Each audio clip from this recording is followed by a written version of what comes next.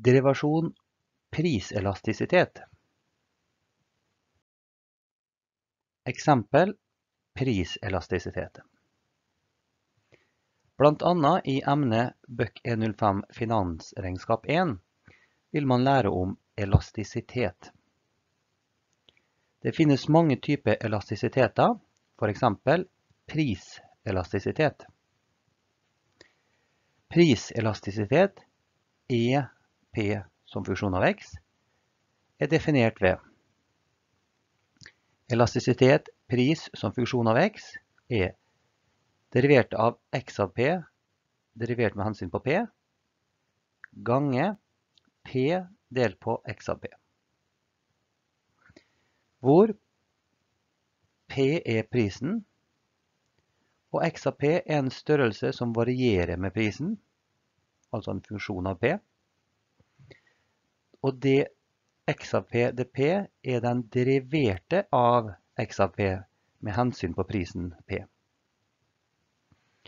Størrelsen x av t kan f.eks. være etterspørselen av en vare.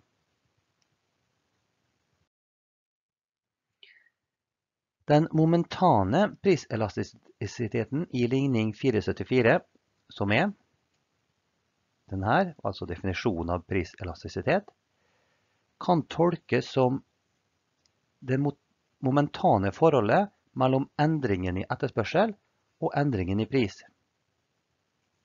Altså E av P, den der altså, kan tolkes som prosentvis endring av etterspørsel delt på prosentvis endring i pris akkurat i et punkt, altså det momentane forholdet i det aktuelle punktet X. Eksempel priselastisitet. Flybussen har leid inn studenter ved Høgskolen i Molde og funnet ut at sammenhengen mellom etterspørsel av flybilletter og pris P er gitt ved følgende funksjon. X av P er lik C delt på P opphøyd i 1,3, hvor C er en konstant, og P er prisen på, på flybussbilletter. Anta at C er 35 kroner, opphøyd i 1,3.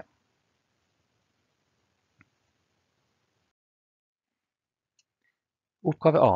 Finn priselastisiteten E av P for dette tilfellet. Oppgave B. Tolk resultatet fra oppgave A. Oppgave C. Hvor mye vil etterspørselen av bussreiser endre seg dersom prisen øker med 2,5% D. Spiller, spiller konstanten C lik 35 kroner noen rolle i denne oppgaven?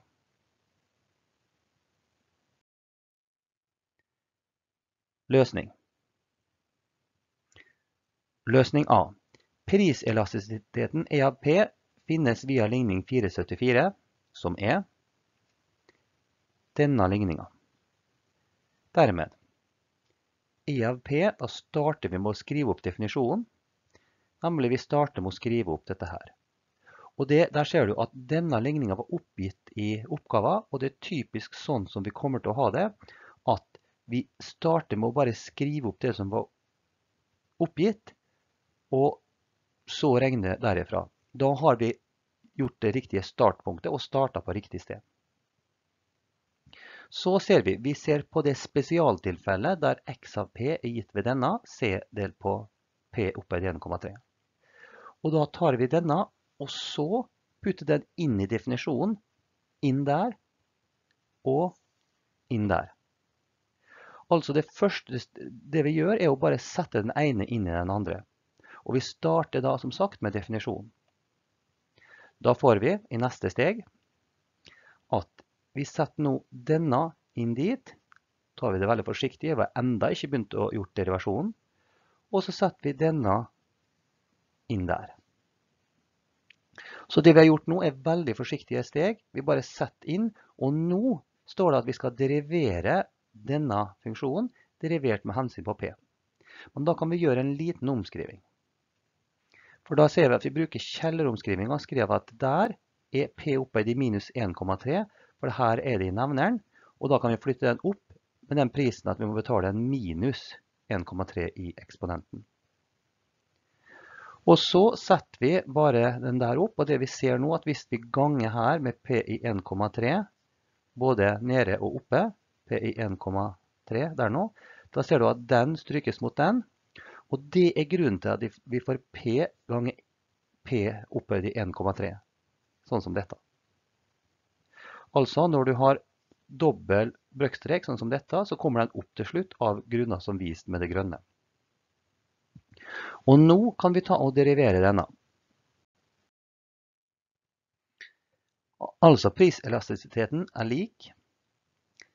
Så tar vi og deriverer denne, og da ser vi at minus 1,3 bruker vi hovedregelen for derivasjon. Da skal den dit ned, for nå skal vi p-derivere. Og da får vi minus 1,3 foran, og så minus 1,3 minus 1.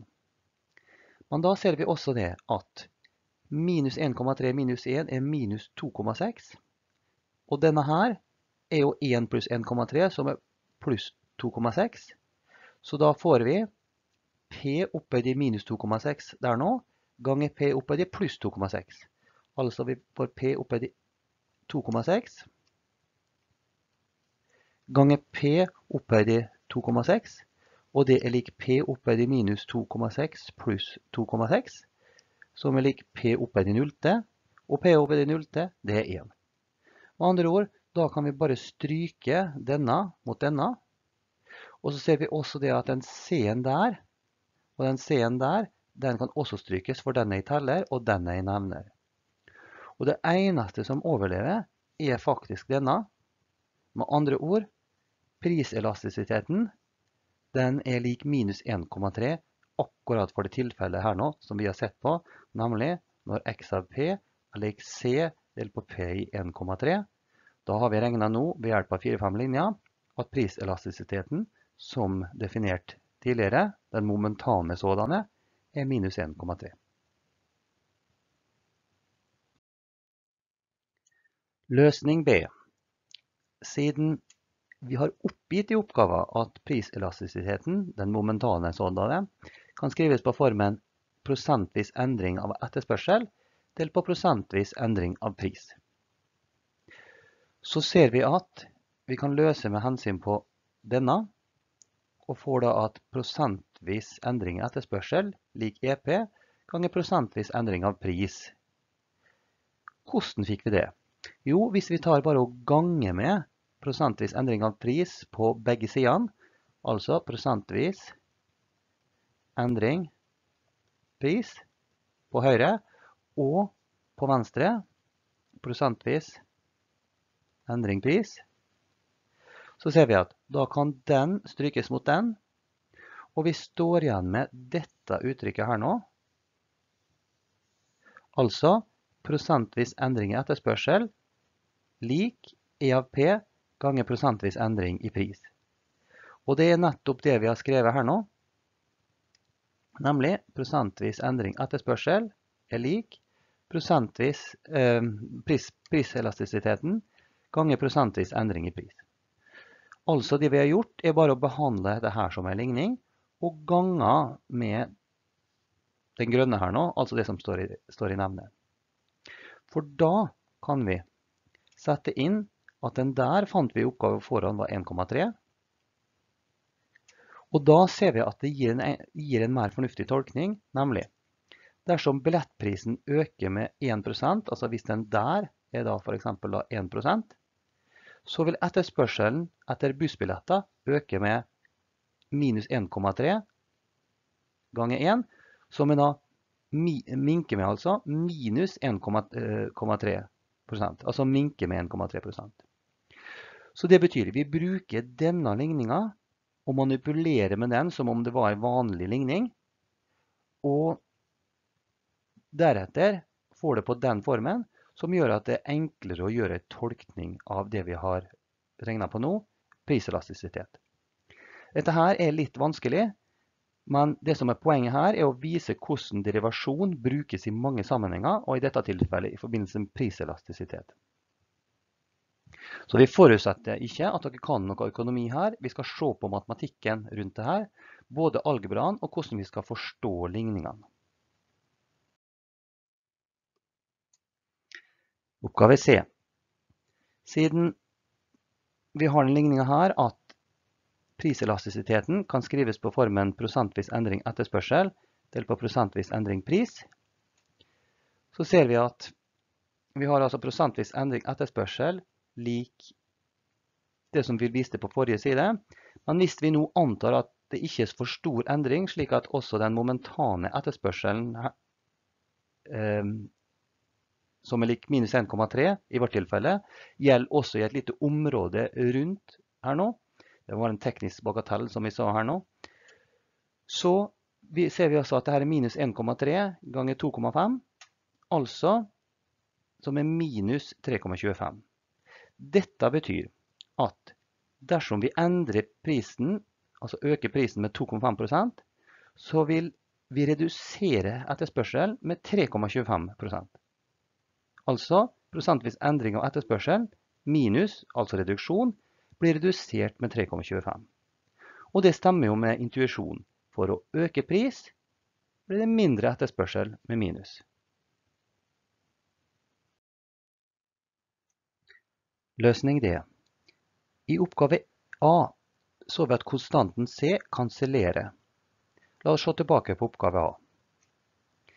Da så vi at priselastisiteten var gitt ved denne regninga, og da ser vi her at den C-en der og den C-en der den kansellerer, altså den og den strykes, for det er ganging mellom. Altså resultatet vi får her er uavhengig av C. Og det, det vi mener med kansellere er at den, den strykes mot den. Priselastisiteten er altså uavhengig av C. Svaret vi får til slutt er uavhengig av C. Dermed innser vi at C ikke spiller noen rolle i denne oppgaven.